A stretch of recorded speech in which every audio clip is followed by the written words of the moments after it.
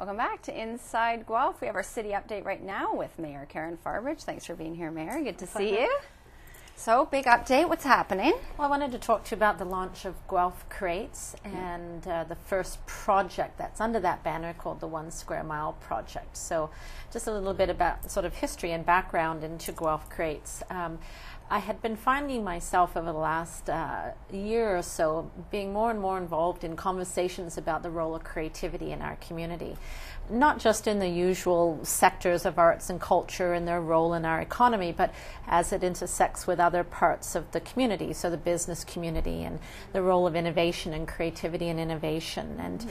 and also in in cities and city development and city and urban renewal and the role of artists and create and creativity and the creative practice in that. So this word just keeps cropping up yeah. up. And so I brought together some of the, um, a few key leaders in the community that were leading some cre- collaborative creative processes, processes that were engaging artists but engaging them in the community and bringing the community in a broad cross section of the community in to, to be part of the practice.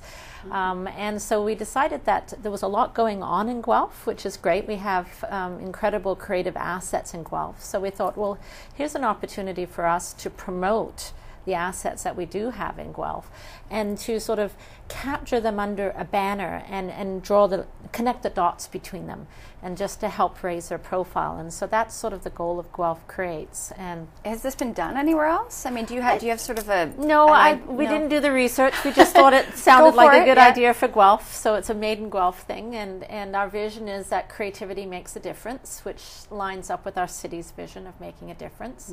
Um, and we want to be able our missions to promote and raise awareness of the transformative power of creativity in a community. And, and we have three target areas, which is uh, creative conversations, so bringing in people to talk further about the role of creativity creative um, practice, so bringing in artists and residents um, and work those artists working with the community, and then creative collaborations that bringing the community in and being part of that creative process. And mm-hmm.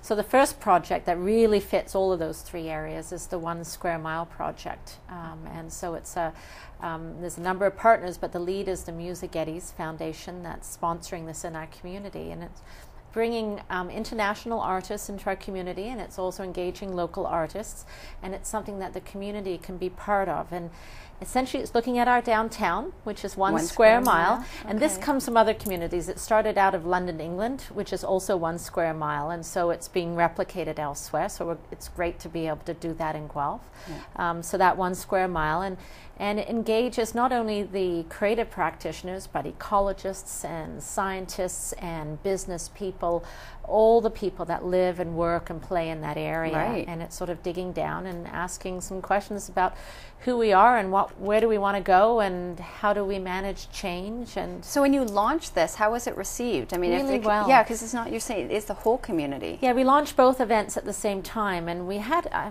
the place was full so it had to have been over 100 people at the launch of it um, and it's been really well received. I have a, a dedicated blog. You can get to it from my blog the links are there but it's a guelph creates blog where we'll be posting um, updates on these initiatives events that are coming up up so people can get involved. And it's a place, as a blog is, for people to have conversations and, and around creativity and the role in the community. And we're hoping that that's a place where people can continue to connect in our community mm. and, and link up with projects and those collaborations can grow and build. Wow, good for you. That's a big undertaking. I like that it's a blog too because that really just speaks to the creativity and people getting yeah. involved.